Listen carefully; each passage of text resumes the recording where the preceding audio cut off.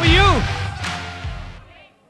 क्या बात है? गुड मैं जब अकेले में कई लोगों से मिल रहा था और ये सवाल पूछ रहा था हाउ यू तो कई लोग बोल रहे थे I am fine I am fine I am fine देखिए, मैंने आपको थोड़ी देर पहले बोला कि अपनी लैंग्वेज को चेंज कीजिए। आप अपने आप को अगर बोलते रहे आई एम फाइन तो आप ज़िंदगी भर फाइन रह जाएँगे।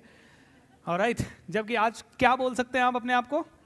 ज़बरदस्त ग्रेट माइंड ब्लोइंग बहुत बढ़िया। बहुत कुछ बोल सकते हैं, लेकिन अगर हमने चूज़ कर लिया, ठीक है, चल रही है, कट रही है तो फिर वो चलती रहेगी, कटती रहेगी। सो हाउ यू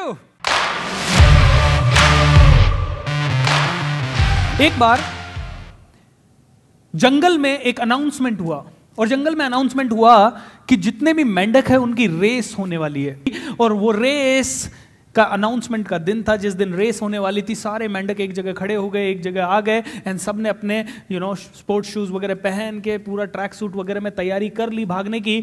और जब इतने सारे मेंढक्स को भागने के लिए देखा, और जब सारे जंगल के जानवर आए इस रेस को देखने के लिए, हाथी, घोड़ा, शेर, चीता, सब लोग आए, सबने देखा, oh target is so big ये छोटे से मेंढक इसको टारगेट को पूरा कर ही नहीं पाएँगे, क्योंकि अगर इन्होंने ये टारगेट पूरा करने की कोशिश की तो ये मर जाएँगे, ये रुक जाएँगे, ये थक जाएँगे, इनका बहुत किसी को हार्ट अटैक आ सकता है, किसी को कुछ और प्रॉब्लम हो सकती है। तो सारे ये बड़े जानवर जो थे, जो अपने आप को बहुत बड़ा समझते थे, इन्होंने कहना शुरू किया, रुक जा, रुक जाओ, मत करो, तुम लोग मत भागो। इनकी इतनी कॉन्फिडेंट वॉइस को देखते हुए पच्चीस परसेंट मेंढक ने भागना छोड़ दिया।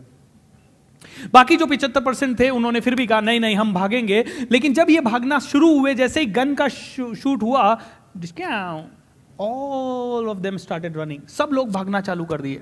और जैसे ही सब लोग भाग रहे थे, ये जंगल के जानवरों का शोर और तेज हो रहा था कि, प्लीज़ मत भागो, तुम लोग मर जाओगे, तुम लोग रुक जाओ रुक जाओ रुक जाओ, हमारी बात सुन लो, हम लोग एक्सपीरियंस्ड हैं, हम लोग तुमसे ज़्यादा जानते हैं, हम लोगों की ताकत तुमसे ज़्यादा है, रुक जाओ, हम बोल रहे हैं, हमारी सुनो।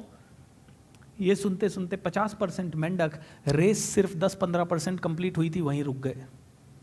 25 परसेंट मेंढक फिर भी भागते रहे भागते रहे, लेकिन इनका शोर और ज़्यादा चल अब तो वो शोर को ज्वाइन कर लिया था, इन 50 परसेंट हारे हुए लोगों ने ऑल्सो क्योंकि अब ये लोग जीत जाते तो प्रॉब्लम हो जाती तो ये ये लोग भी चिल्लाने लगे, अरे देखो, मेरे को अभी हृदय हृदय का यू नो तकलीफ़ होने लग गया, तुम रुक जाओ यार, तुम लोग भी कहीं मर जाओगे, तुम लोग मेरे फ्रेंड्स हो, ऐसे बोलने लगे दोस्तों। निन्यानवे प्रतिशत मेंढकों ने रेस छोड़ दी। और रेस अभी पचास परसेंट भी कंप्लीट नहीं हुई थी।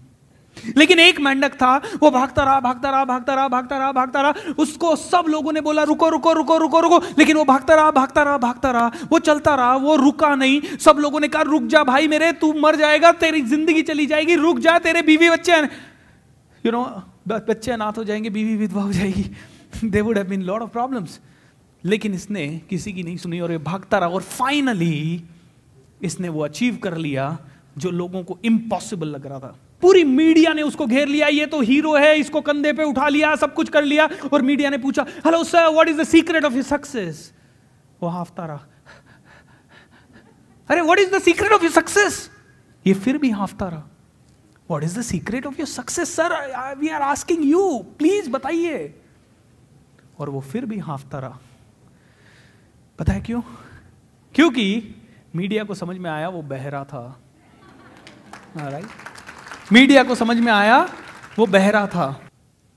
The problem is in this रुक हम लोग कहीं पे भी एनकरेज नहीं करते कि यार go come on do it so what you will fall so what विट आज से अपने आप को ये बोलना शुरू कीजिए, ये बहरे हो जाइए। राइट और आपके हस्बैंड भी बोलेंगे, रुक, कार तू मत चला हेलो उसको बोलो, यार, अब तू ठंड रख, बहुत हो गया। यार, क्या है कमान कार नहीं चला सकती, क्यों नहीं चला सकती? गिव मी रीजन क्यों नहीं चला सकते? एक बार जंगल में एक शेरनी थी और शेरनी प्रेग्नेंट थी and she was in the huge labour pain और वो बच्चा को जन्म देने वाली थी। जिस समय वो बच्चे को जन्म देने वाली थी, उसी समय एक शिकारी उसके पीछे पड़ गया और शेरनी ने देखा ओ शेट अब क्या होने वाला है? लेकिन फिर भी जैसे तैसे उसने बच्चे को जन्म दिया और वो वहाँ से बच के निकल गई। उसने अपने बच्चे को कहीं घास वास में कवर किया और वो वहाँ से निकल गई। एक घंटे तक वो शिकारी उस शेरनी को चेज करता रहा और शेरनी अपने आप को बचा पाई। लेकिन एक घंटे बाद उस जगह से भेड़ों का एक झुंड निकला। बहुत सारी भेड़ों का एक झुंड निकला और भेड़ों के झुंड ने देखा, एक नवजात शिशु, शेर का बच्चा वो घास फूस में दबा हुआ है, शेर भेड़ों ने उसको अपने मुँह में उठाया और अपने साथ ले गई। अब वो शेर का बच्चा भेड़ों के साथ पलाने बढ़ने लगा। वो धीरे धीरे भेड़ों के तौर तरीके सीख गया, वो धीरे धीरे भेड़ों से मिलने जुलने लग गया, वो धीरे धीरे समझ गया कि मेरी ज़िंदगी ये है, वो उन्हीं की तरह के गेम खेलने लगा, वो उन्हीं की तरह जीने लगा, वो उन्हीं की तरह रहने लगा, सब कुछ उसकी ज़िंदगी में वैसा ही हो गया। अब एक दिन ये सारी भेड़ें जंगल में गई और घास चरने के लिए गई। और जब घास चर रही थी तो अचानक से एक बड़े शेर ने इनके ऊपर हमला कर दिया। और जैसे बड़े शेर का हमला हुआ, सारी भेड़ें इधर उधर भागने लगी अपनी जान बचाने के लिए। तो ये शेर का बच्चा भी इधर भागने लगा। शेर ने देखा, शेर का बच्चा भेड़ों के बीच में, उसने उसको लपक के पकड़ लिया। और जैसे ही उसको पकड़ा, वो बोलने लगा, गिड़गिड़ाने लगा, मुझे छोड़ दो बच्चा। अरे पागल है क्या तू शेर है? बोला, शेर? मैं शेर नहीं हूँ, मैं भेड़ हूँ, हलो, मेरे को छोड़ दो, मेरे को जाने दो। शेर ने उसे थप्पड़ मारा, घसीटते हुए पानी के पास ले गया और उसको अपना चेहरा दिखाया। देख, उसने अपना चेहरा देखा। एंड उसको रियलाइज़ हुआ व्हाट मैं तो सच में शेर हूँ यार। मैं सच में शेर हूँ। उस दिन उसने दहाड़ना शुरू किया और उस दिन से उसके अंदर का शेर जाग गया। माय डियर फ्रेंड्स आपके अंदर की शेर नहीं कब जागने वाली है? आप पैदा शेर हुए हो। ये भेड़ों ने आपको, आसपास की भेड़ों ने हमें भेड़ बना दिया है। राइट कि सबसे पहले आपका बॉडी माइंड के अंदर जो लैंग्वेज चल रहा है it it is very important same situation में अगर एक लेडी ने अपने आप को मीनिंग दिया, मैं नहीं कर सकती, मेरे साथ लाइफ ही बेकार है, मैं ऐसे जी नहीं पाऊँगी, मेरे साथ तो बहुत बुरा हो रहा है। उसके माइंड में नेगेटिव माइंड में नेगेटिव शब्द चल रहे हैं, उसकी पूरी ज़िंदगी नेगेटिव हो जाएगी और वो कुछ नहीं कर पाएगी, बहुत कुछ ताकत होने के बाद भी।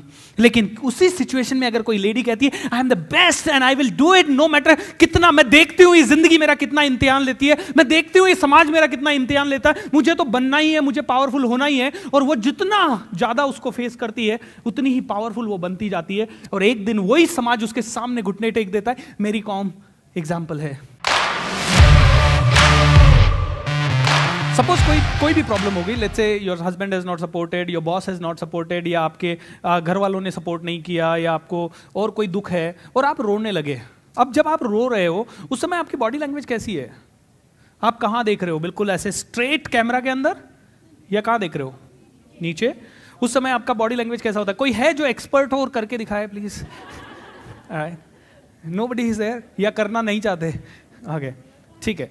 सो so, उस समय आप पूरी बॉडी का आपका फोकस भी है कि यार कुछ हो नहीं रहा। उसके बाद आप नीचे देख रहे हो उसके बाद आपका पूरा बॉडी ऐसे you you are sitting probably like this और you are sitting like this और यू आर क्राइंग और आप बिल्कुल या घुटनों में आप सर डाल दोगे। मतलब आप आप अपने आप को पूरा बेचारा बनाने के लिए बहुत कुछ समझाओगे अपने आप को।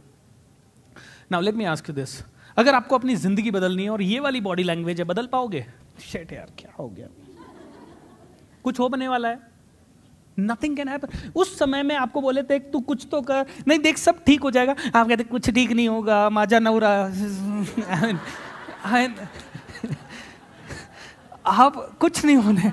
उस समय आपकी पूरी बॉडी लैंग्वेज कहेगी, कुछ नहीं होने वाला. And that time you can not change anything in your life and दोस्तों, पता है क्या है? अगर आपने एक बार ऐसा किया, दूसरी बार ऐसा किया, तीसरी बार ऐसा किया, चौथी बार ऐसा किया, पांचवी बार ऐसा किया, अनजाने में कब आपने इसको अपनी आदत बना लिया और अनजाने में कब इस आदत ने आपकी पूरी ज़िंदगी को बर्बाद कर दिया, आपको पता ही नहीं लगा और आपने सोचा ये आपका हस्बैंड है जो प्रॉब्लम में है. Husband are innocent like me you know husbands are you know, such a smiling face i have, you know. Can i really give trouble to you? But हमने अपनी अनजाने में एक आदत बना ली है। और ये अनजाने के ऐसे पता नहीं कितने ही पैटर्न्स हैं जो कि प्रॉब्लम क्रिएट कर देते हैं। तो हम लोग इस